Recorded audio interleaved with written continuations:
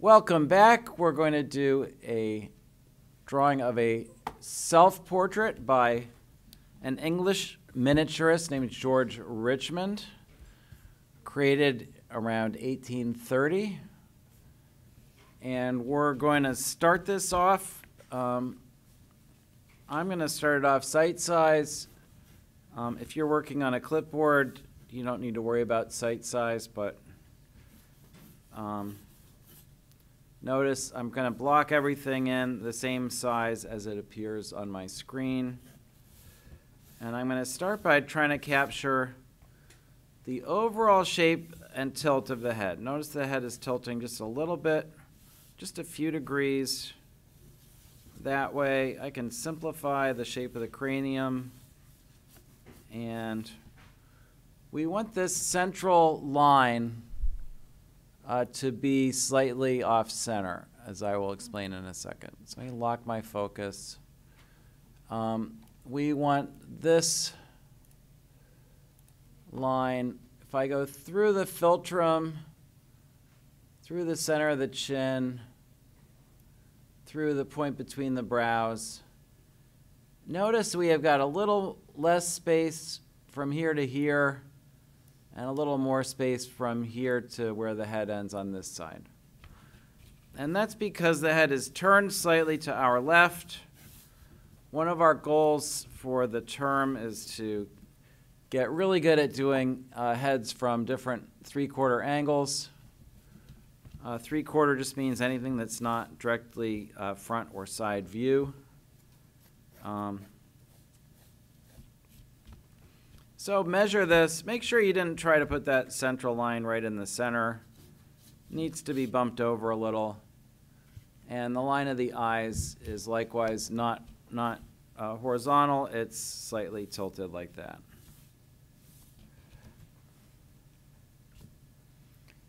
Um, notice that his eyes are slightly above center. So I'm just shifting this, this line up a little.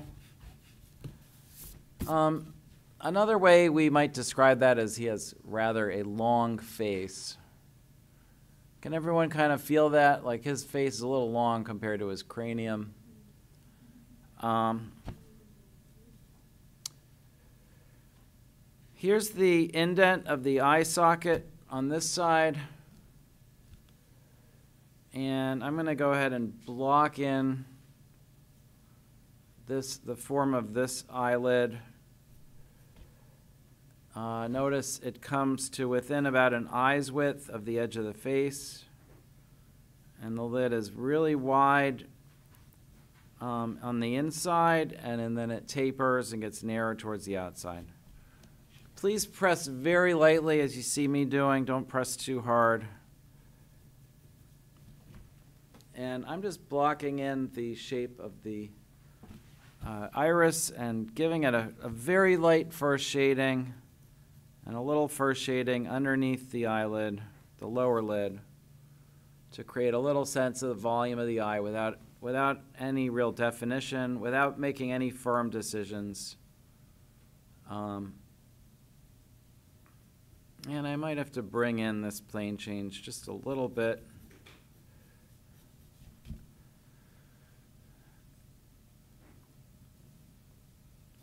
Um, I sort of made the mistake of trying to define the shape of the face a little too soon, so let me bring down that angle of the jaw.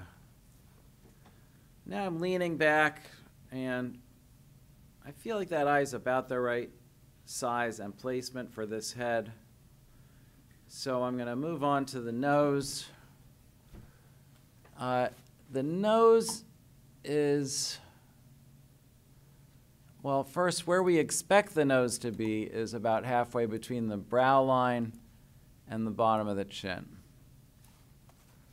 So I'm going to measure that visually, and I'm going to decide that the nose actually is pretty well centered on that space. Can you see what I just did? I measured here to the bottom of the chin, and the nose is just about centered on there. This is what I was measuring.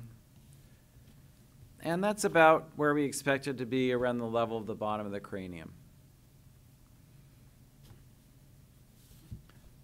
And for the width of the nose, I'm going to imagine some construction lines coming from the outside of the olive, following the angle of the head, and like that. And the outside of the nose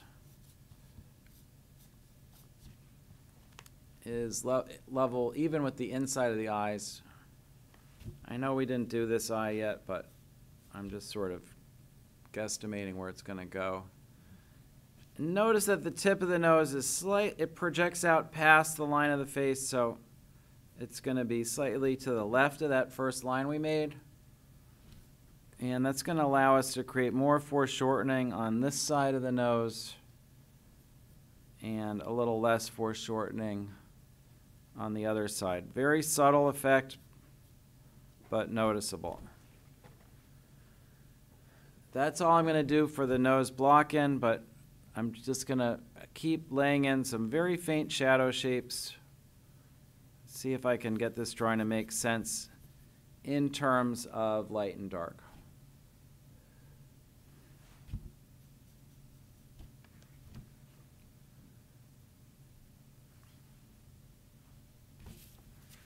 And there's a reason I'm not zooming in on my drawing because I, I, haven't I haven't done anything definite yet. We really want to keep this really faint. And I'm just sort of jumping around today, but I'm going to go ahead and shadow map this whole side of the cheek. Again, please use a lot of restraint. We're not, we're not pressing hard anywhere yet. And I'm going to lay in a first shading across this whole side of the face to give a little sense of the volume of the face. Um, this whole eye socket is in shadow, so I'm going to go ahead and do a first shading across that eye socket. And a first shading where the hair turns into shadow.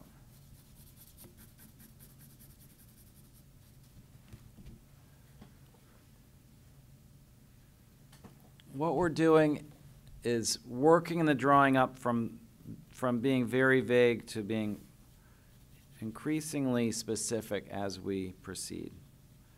I'm even going to carry this going about a third of the way down where I expect the mouth to be. I'm going to do a little first shading across the upper lip, first shading under the bottom lip.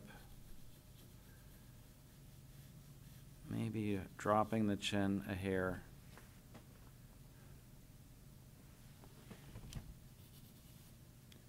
And a first shading across this side of the nose.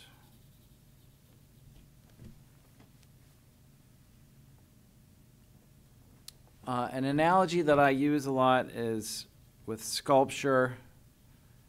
Um, we went ahead and drew this first eye in detail right from the start, but with the second eye, it's buried in shadow. And what, what I've done with my dark here is essentially, I've sort of punched, punched this in like I would, if I was going to sculpt the eye, you would make a depression in the clay first to represent the eye socket. And then only then would you um, go in and sculpt the details of the eye. And that's sort of how we're approaching this there's the eye socket, and now we're going to go ahead and um, zoom in a little for the first time. I'll get rid of these annotations.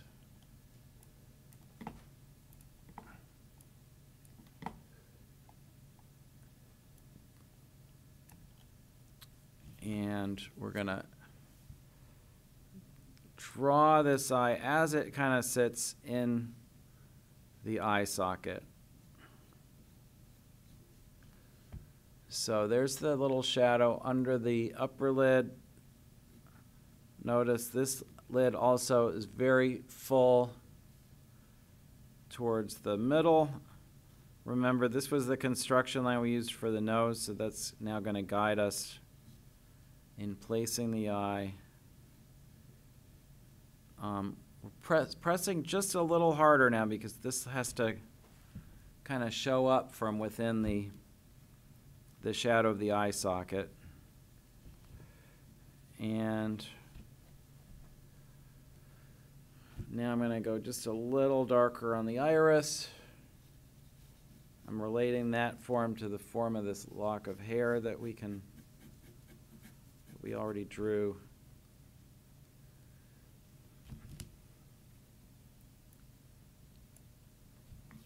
And now I'm going to go around and just sort of bring down, not pressing really hard yet, but just I'm starting to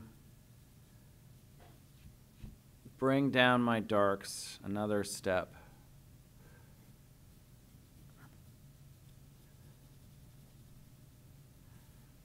And at this point, you should be able to assess what we call the gaze of the drawing.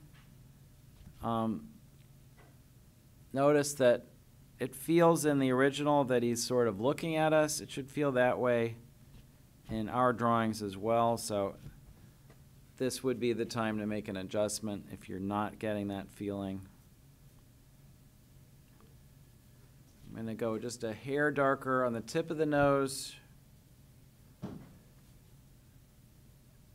in the nostrils, and I'm going to clean up my light across the bridge of the nose and erase this construction line. And that feels like a good time for me to take a little break so that you can uh, start to catch up. So let me zoom out a little.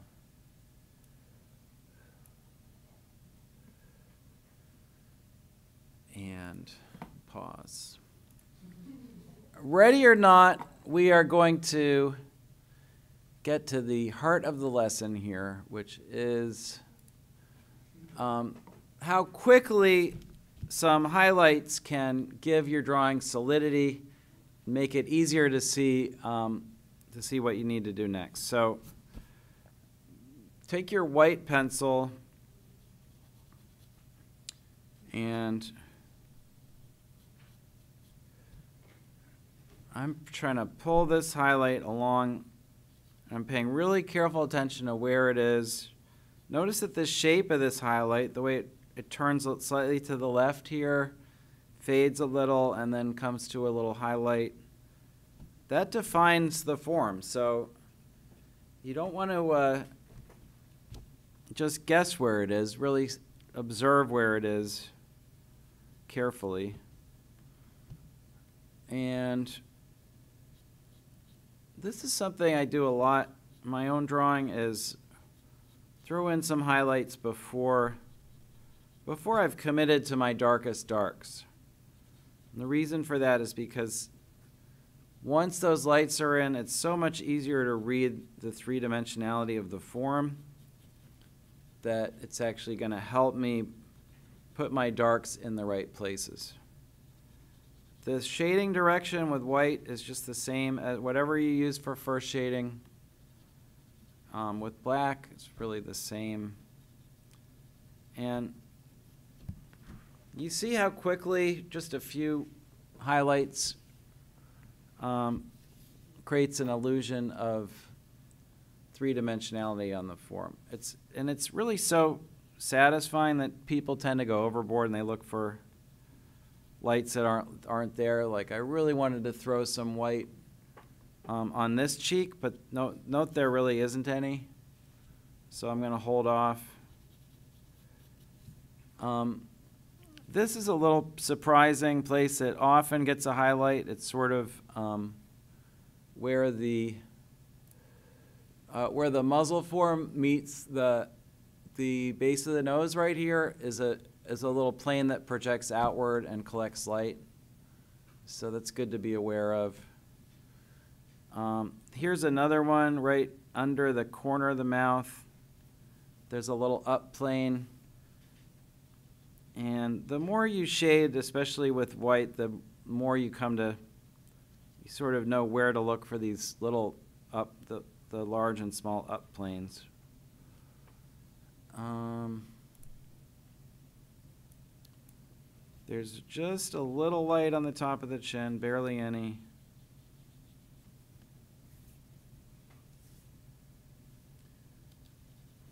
And there's a big light on the temple up here. Uh, one amateur mistake that we see all the time is people make these big lights um, too dark because they they don't look that bright because they have light all around them, but they're actually just as bright as the small highlights. And people make these small highlights like this one too bright because they have more dark around them so they stand out more. But that doesn't mean they're actually brighter than the than the big highlights. So now if you squint and look at your drawing, you're going to see um, it has a solidity that it didn't have a minute ago. And that's going to actually help guide your hand and it's going to help you to make better decisions going forward.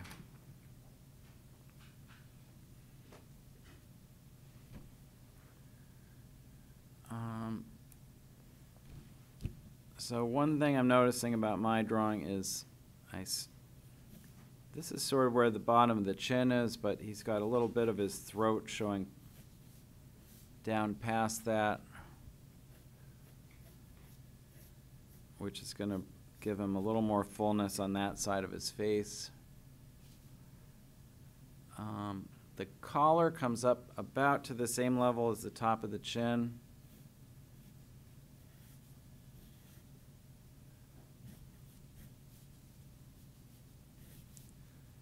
As I've mentioned before, in a mirror self-portrait, you're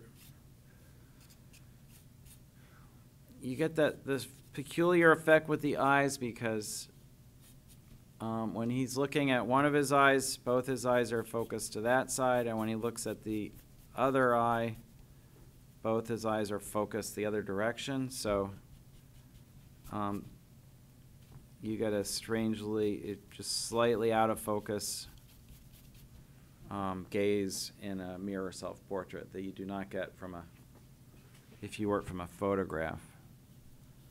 It's one of the ways anyone looking at your portfolio can easily identify that you are working from a mirror,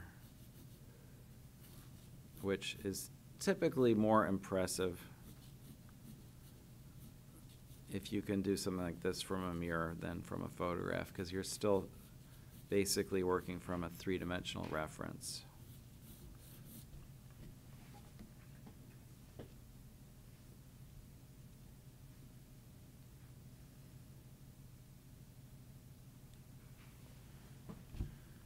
And at this point, because we've been very vague with where the features start and end, um, the process of drawing, if you're doing it right, should start to feel a little more like the process of sculpture. See if I bring this shadow edge over a little, I've just sort of brought the brought the, the uh, bridge of the nose in slightly towards the center. It should start to feel not like you're coloring in something, but that you are modeling something the way you'd model something with clay and you know you're doing it right. If it just starts to feel a little bit like that, um, you'll know you're on the right track. You're really pushing light around to create the illusion of form, but the emphasis here is, here is not on the shapes of the light, but on the actual forms that we're able to read.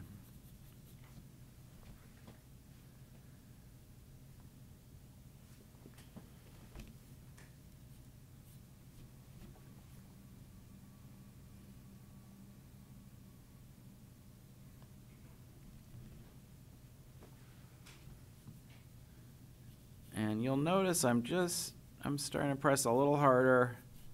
Some of my dark accents, as I get more confident that they're in the right place, I can go a little harder with them. Um, no matter where you are in your drawing, why don't you just uh, pause and let's let's focus together on the place we started, which was this eye. And now that we're using a darker line, we can analyze what's going on here. So this is the skin fold. This is the darkest dark. It's a shadow accent. There's really no light going up into that fold. And then notice that the upper surface of this lid is darker than the surface above it. And that's no surprise because this surface up here is receiving reflected light that this surface is not. So within shadows, we sort of get that this upside down world where things that face down are brighter and things that face up are darker. Um, this lower lid, though, is not darker. It's receiving a little bit of ambient light. So this reads not as a highlight, but just as, a, just as the color of the paper. To bring that little shelf of skin out, we shade lightly around it like this. And that causes that little piece of skin to project out a little bit.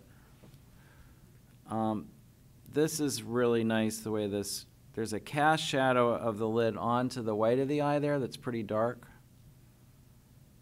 A lot of beginners are afraid to touch the white of the eye. They think it has to stay white. But if it's in shadow, it's going to be darker than the surrounding skin.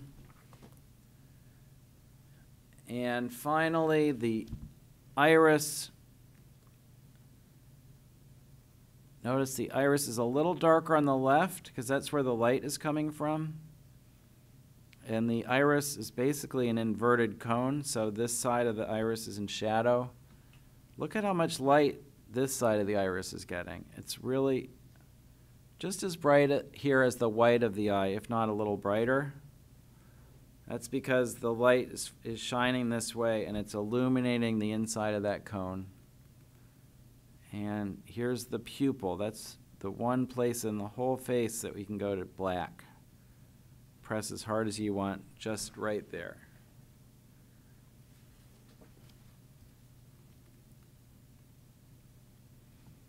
And for some reason, he really doesn't have eyebrows. Maybe he's blonde or something.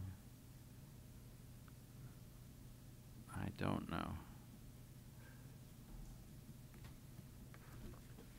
His his bangs seem dark, so I don't really know why his eyebrows are so faint, but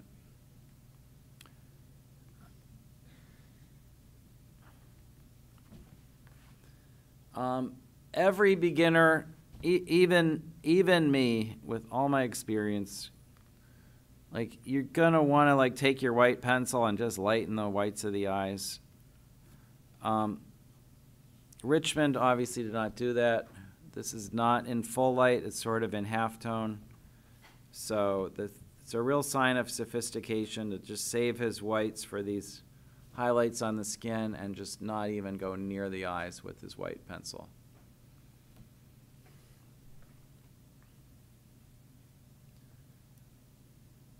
Um, we may as well go across to the other eye, which is actually drawn in a kind of surprising way because um, the pupil is not is barely visible. Because there's so much reflected light along the bottom of the iris probably bouncing up from his collar um, that he's suppressed all the all the details uh, within the eye. And the other sign of that strong reflected light is that this plane change along the lower margin of the eyelid is light with halftones on either side of it.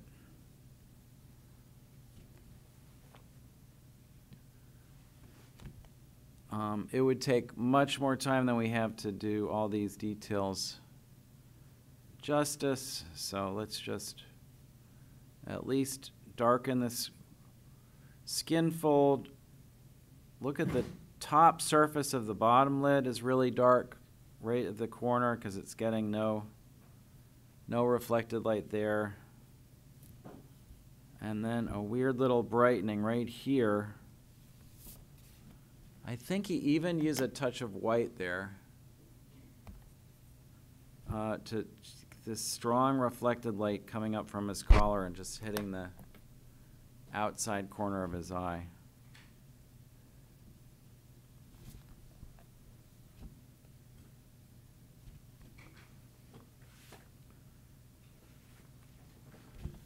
Um, do your best to keep up with me. When I move on, you can just move on with me and go back to um, what you didn't get to. You'll have plenty of time at the end to finish, so. But we're going to take a look together at the nose. Um, most of you had trouble drawing the nose as asymmetrical as it is. In other words, you mostly wanted to draw the um, you wanted to make the curve of the nose and you wanted the parentheses to be symmetrically around the curve. And what I explained to you is this curve is way to the left we see less of this ala and a lot more of this one. So check your work. Make sure that's what it needs to be. And just look at the subtlety of this little darkening across the top of the ala here to indicate that plane change. Um, there's a little bleed of this core shadow up towards the tip of the nose to indicate that plane change.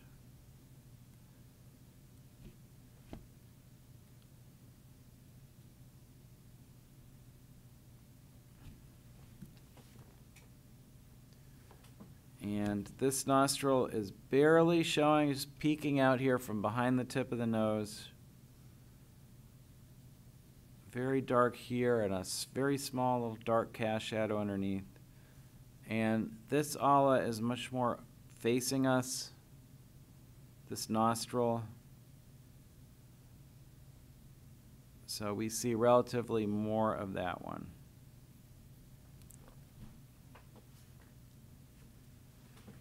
And the darkest point on the nose is actually this except besides the nostril, it's this cast shadow behind the ala.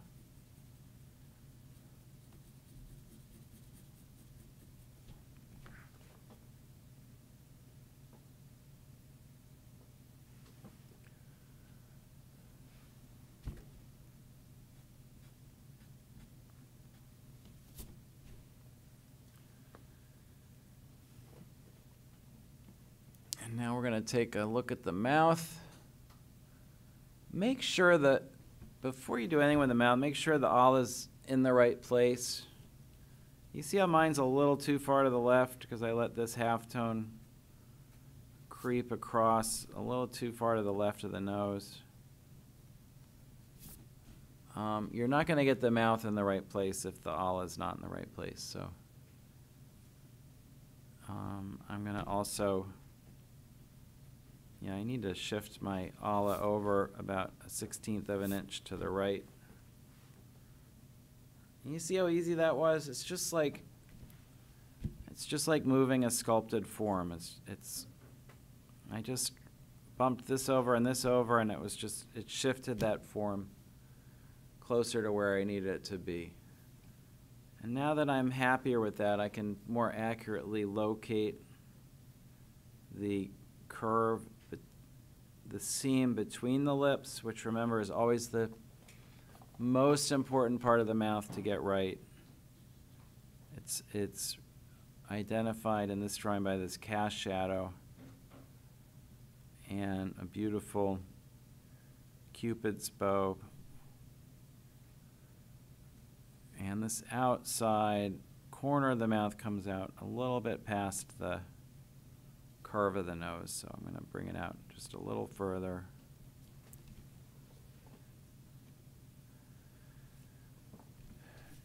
And on this side, again, just like the nose is not symmetrical, the mouth, this, uh, this curve is much longer than the one on the left.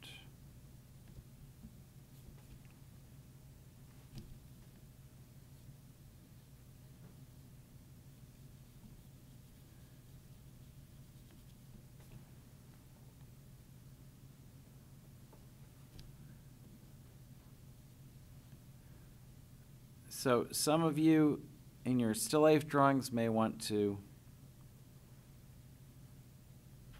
um, use some white highlights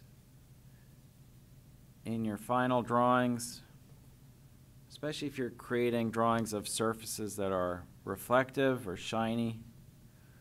Um, and but in order for those white highlights to show, you obviously have to work on paper that's not pure white. So it's partly why I'm introducing this today is to get you used to uh, working on paper that's not that's not white.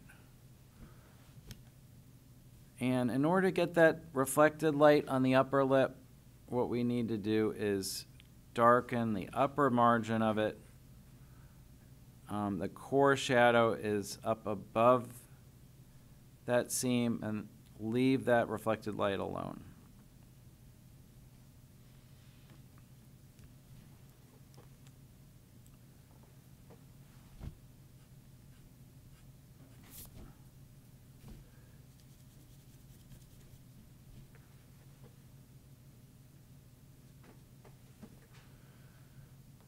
So did I bring the corner of the mouth too far out? Yes, I did. Just a little.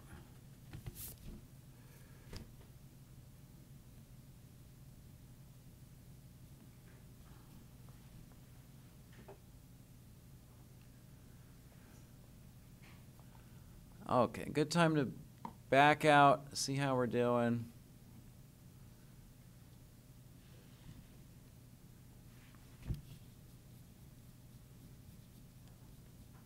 I'm going to darken through the core shadow on the cheekbone. Try to follow his shading direction to the extent that you can read it. Notice he's very disciplined on these soft curves, shading across the sh shadow edge. Good idea to erase the shadow map first if you didn't do that already.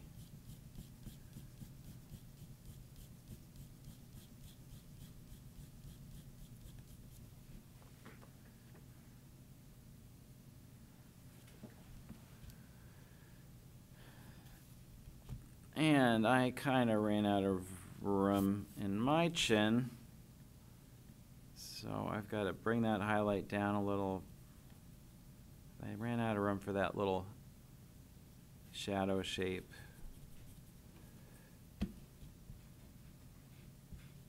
Doing exactly what I always tell you not to do. Sort of got a little crowded down here in the bottom of the face. That usually happens when we make the nose a little too long or the head a little too small. So um, I'm frustrated that I make that correction so often. It's sort of like it's like when you run out of room for the legs and you always have in a figure and you always have to erase the feet and draw them a little lower down. Um, it just means you probably don't practice enough.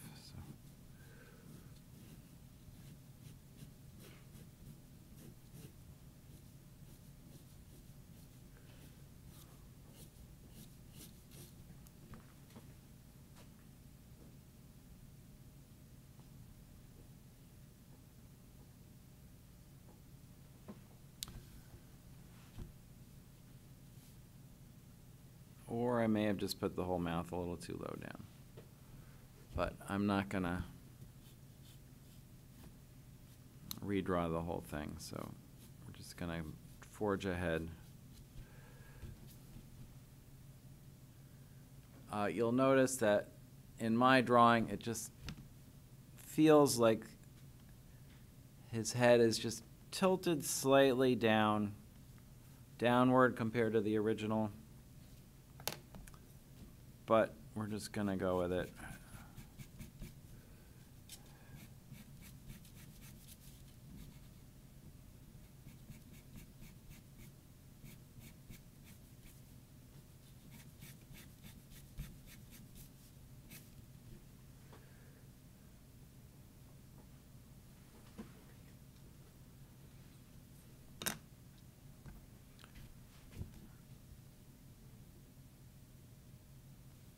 So the ear is level with the bottom of the nose out here, and then the hair cups around the back of the ear.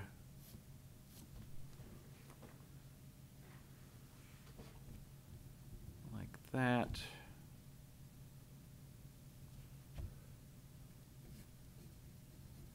Little sideburn.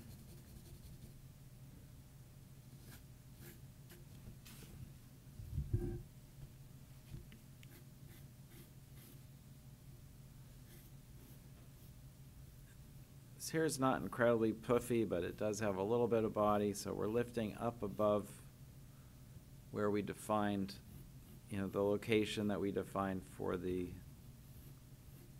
top of the skull.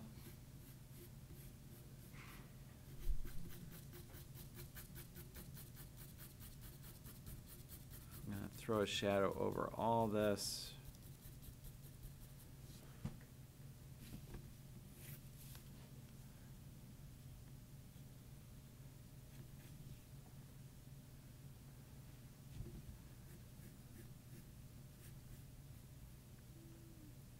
And if you're not sure about the height of the forehead, go ahead and take a measurement. Um, if I measure off the screen, the length of the nose from here to the indent between the eyes is about the same as the distance between that indent and the and the hairline. So I might have I might need to bring down the hairline just a little bit. Um, it's always appropriate to measure, but please try drawing it first and then measure to see how you did.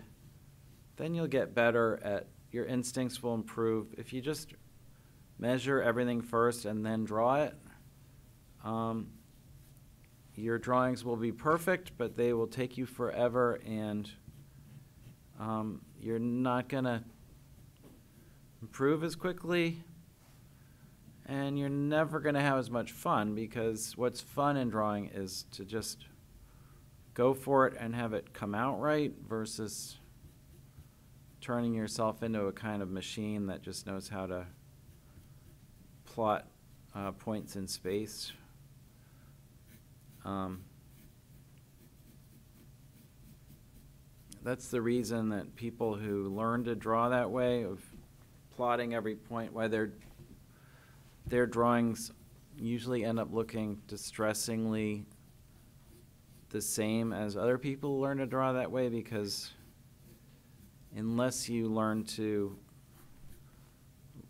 develop and rely upon some degree of instinct, um, your drawings are going to lack um, any personal qualities, any flavor that's going to make them your own. Um, it's just as important though to know when your instincts are learn when where when your instincts are wrong. And that's what you can achieve by measuring the things that you've taken a stab at which is exactly like just learning how to hit a target and then walking up you know after you've taken your shot to see how you did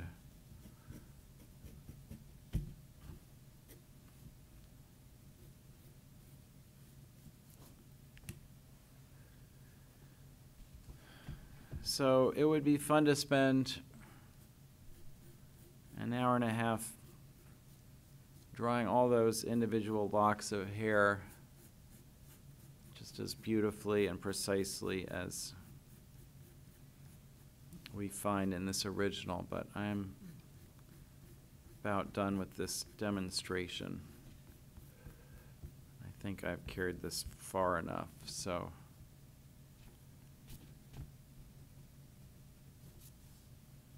I'm gonna, would like to spend some time with my students. So I'm gonna sign off of the video now. Um, if you're doing this at home, please see if you can get appropriate materials first. Um, it would be good if you could do this with some white highlights. And I will see you next time.